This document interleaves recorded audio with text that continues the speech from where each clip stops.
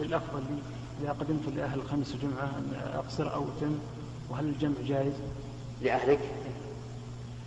إذا قدم الإنسان إلى أهله الخميس والجمعة فإنه انتهى سفره فعليه أن أن يتم الصلاة ولا يحل له أن يجمع.